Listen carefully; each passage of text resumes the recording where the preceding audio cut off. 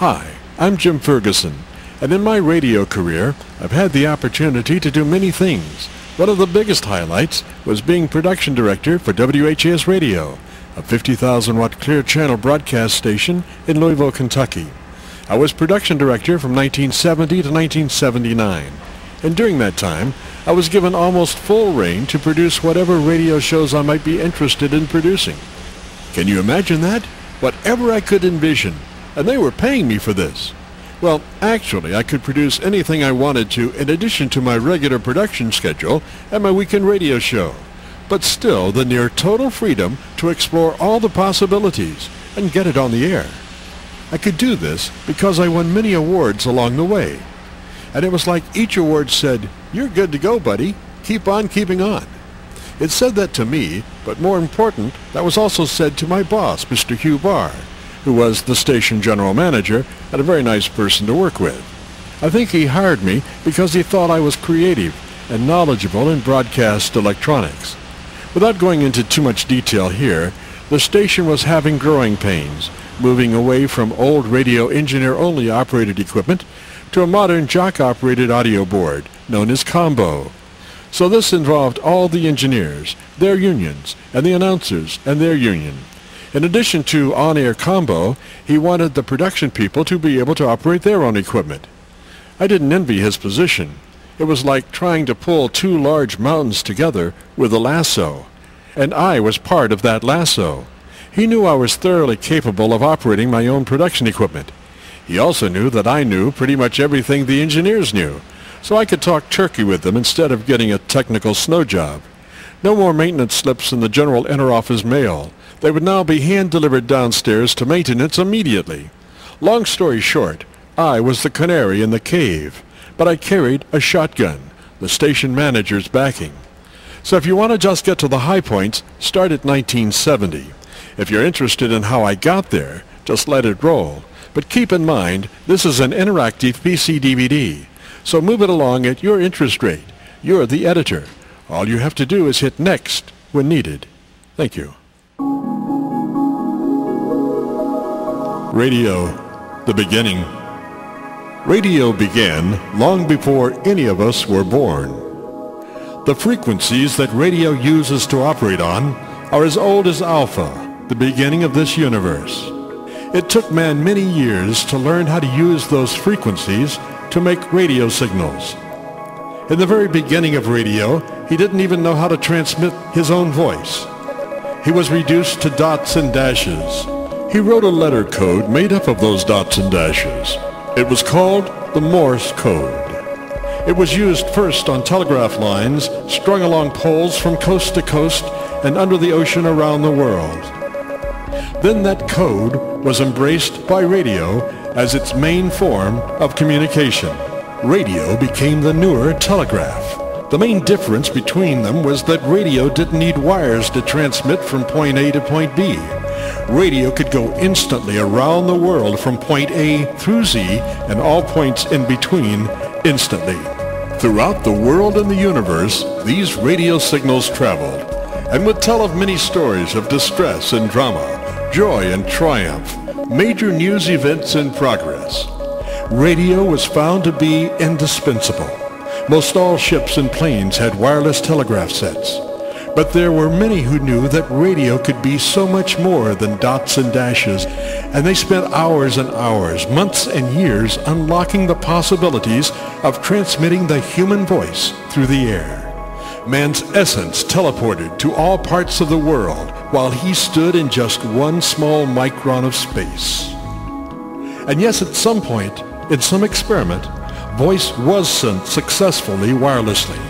It was crude, the voice very distorted, sounding more like static than human, but the voice was controlling the static. From there on, it was a race to improve the quality. Man had achieved one of the greatest dreams of civilization, wireless transmission of the human voice. The very first voice signals on the air were limited. It was called push-to-talk. The mic had a push-button switch on it. You listened, then pushed the button to talk. Transmissions were short and to the point.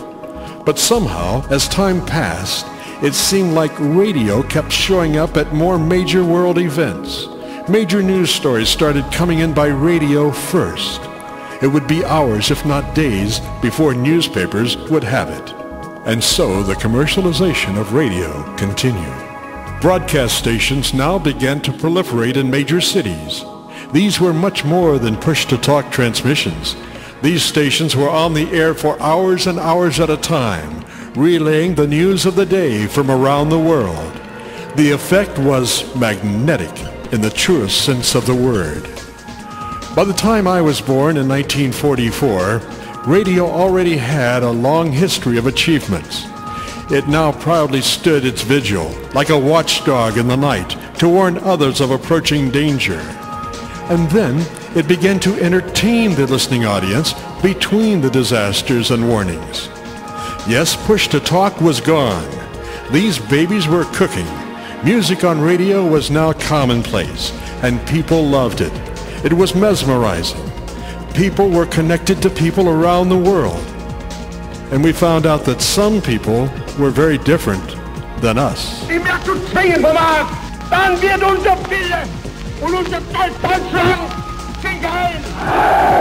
Radio was tremendous at painting visual word pictures. Get started, get started. It's it's.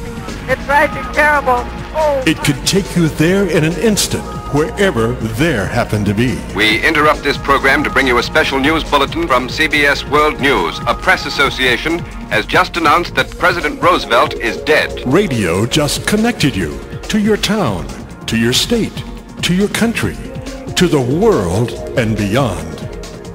Well, maybe now we are getting ahead of the story. So much for the radio overview. Let's get on with my radio dreams. Here are some basic facts we'll be dealing with in detail. I was bitten by the radio bug by six years old. My grandfather had been bitten by the same bug, and he helped me discover how to scratch it.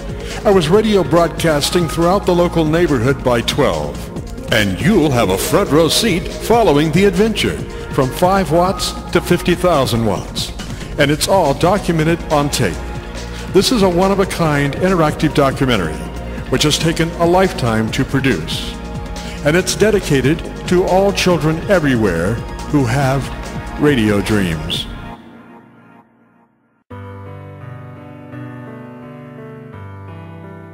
This is Jim Fergusson's Radio Dreams, a documentary that encompasses some 50 hours of material, making it one of the world's longest documentaries. With audio recordings dating back to 1956 when I was a 12-year-old kid nursing one of the worst cases of radio bug bite ever known to mankind. But my story really begins a lot earlier than that. I mean, I just didn't fall out of the sky as a 12-year-old. I was raised in the country in West Palm Beach, Florida, a few miles out of town. The earliest thing I remember was my grandfather and grandmother coming to live with us when I was six or seven. A few days before they arrived, my family, my father and mother and sister and brother, were hard at work packing up things in the garage and putting them into cardboard boxes. We stacked and we piled, and that wall of boxes climbed toward the garage ceiling. To hide all those boxes, we hung a cloth blanket to make a wall. The garage side door now became this small apartment's front door, which opened onto a breezeway that was about 15 feet wide and connected the main house to the garage. The next thing I remember was that my grandfather had built a garden area a good walk from the main house. This specific area had been chosen because of the heavy black muck soil, ideal for growing. He grew corn, potatoes, many varieties of tomatoes, and flowers. He wore khaki pants and a khaki shirt every day, with just a scrub of facial hair. He was slightly heavyset and soft-spoken.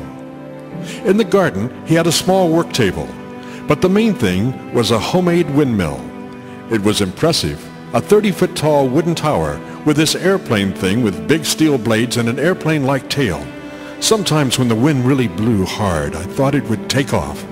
The windmill furnished water for the garden. There were no power lines to run a pump. There was also another building in the garden area. It was a glass house. Well, to a seven-year-old, that's what it looked like. Actually, it was a large storage shed made out of large window frames on all sides. It was maybe 10 feet by 10 feet, with a rainproof roof and glass on all sides. This was my grandfather's storage shed, with more cardboard boxes stacked to the ceiling in some areas. As I said, this was my grandfather's stuff, and some of his stuff was magic. He went to this garden every morning at 8 o'clock. He would come home for lunch and then back to the garden till 5 o'clock. I remember there were occasions when he would have to go looking for things in the glass shed, and if I were lucky enough to be in the area, I would be right there by his side as he searched. Somehow it didn't usually matter what he was looking for. I knew that there were two or three boxes of stuff in there that were pure magic, filled with all kinds of radio and telephone parts. Parts from another time, parts that held secrets. How did they work? Old telephone headsets and microphones, dials and coils, tubes, some of the biggest radio tubes I'd ever seen.